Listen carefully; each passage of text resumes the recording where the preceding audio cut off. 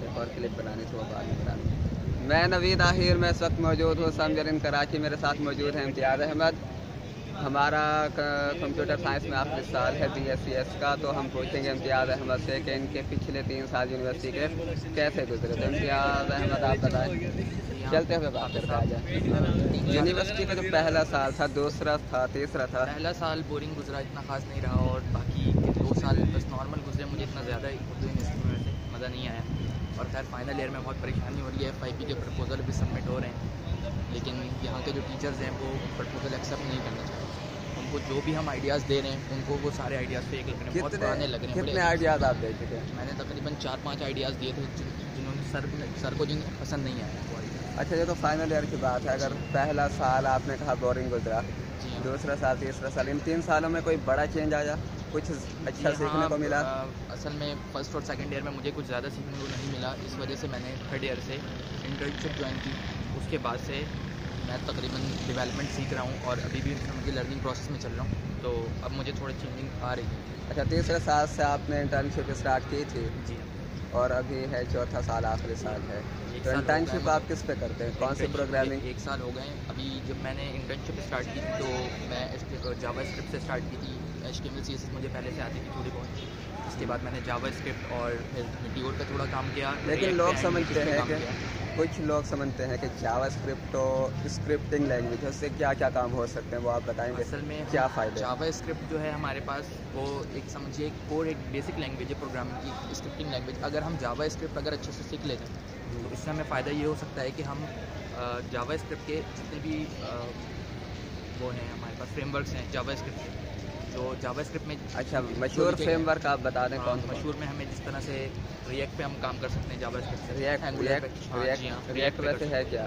React ہمارے پاس ایک library ہے۔ فیس بک کی لائبریری جی ہاں فیس بک کی لائبریری ہے بہت فاسٹر ہے یہ اور اس میں یہ کہ اس میں ہم کیا کرتے ہیں؟ کیا کرتے ہیں؟ اپلیکیشن جی ہاں، موبائل کی جی یا ہاں۔ ویب سائٹ ہم کیا ریئیکٹ پہ ہم ویب کی اپلیکیشن بنا سکتے ہیں اچھا۔ اور موبائل ایپس کے لیے ہم یوز کر سکتے ہیں ریئیکٹ نیٹو جو کہ ریئیکٹ کی ہی ہے۔ وہ موبائل ایپس کے لیے اگر کسی نے ریئیکٹ سیکھ لی تو ریئیکٹ نیٹو سیکھنے میں کتنا ٹائم۔ لگے گا؟ کہ اگر کسی کو ریئیکٹ آتی ہے ٹھیک سے تو وہ تقریباً ایک دو ہفتے میں آ جائے گا تقریباً ایک منتھ لگیں گے اس کو نیٹو میں۔ اچھا۔ کمانا تو یہ تھی انٹرنشپ کی باتیں جاوا اسکرپٹ کے فائدے کہ یہ صرف اسکرپٹنگ کے لیے یوز نہیں ہوتی اس کے بہت بہت سارے فائدے گوگل خود جاوا اسکرپٹ یوز کر رہا ہے پائتھن یوز کر رہا ہے۔ اچھا تو فائنل ایئر کی بات کرتے ہیں۔ ابھی ایف آئی سی کی ٹینشن ہماری پوری کلاس میں پھیلی ہے۔ سو بچے ہیں ہم ہمارے بیچ میں دو سیکشن ہیں۔ بالکل۔ کتنے آئیڈیاد آپ دے چکے ہیں اور سارے نے کتنے پانچ آئیڈیاز دیے تھے سر کو اور میرے گروپ ممبرز نے بھی دو تین آئیڈیاز سر کو دیے آپ کے گروپ میں کتنے ممبر ہیں؟ چار ممبر ہو گئے۔ میں نے جو پہلے جو گروپ بنایا تھا وہ گروپ ٹوٹلی ڈسٹرائے ہو چکا ہے کیونکہ وہ جو اسٹوڈنٹ جو میرے گروپ میں میرے ساتھ تھے وہ چھٹیاں بہت کر رہے تھے اس وجہ سے ہم نے وہ گروپ ختم کر دیا اور اب ہم ان شاء اللہ نیا گروپ بنائیں ایف آئی پی کس پہ بنائیں گے مطلب ہاں۔ کون سے ٹولس یوز کریں گے آپ میں نے جو سوچا ہے وہ میں ریئیکٹ نیٹو اور بیک اینڈ میں فائر بیس ریئیکٹ نیٹو آپ فرنٹ اینڈ کے لیے کیا یوز کریں گے میں ریئیکٹ نیٹو موبائل ایپس بناؤں گا۔ اینڈ ریئیکٹ نیٹو یوز کروں گا اور سرور ڈیٹا بیس کے لیے ہم جو فائر بیس یوز کر رہے ہیں اور؟ اسٹیٹس کو مینٹین کرنے کے لیے ہم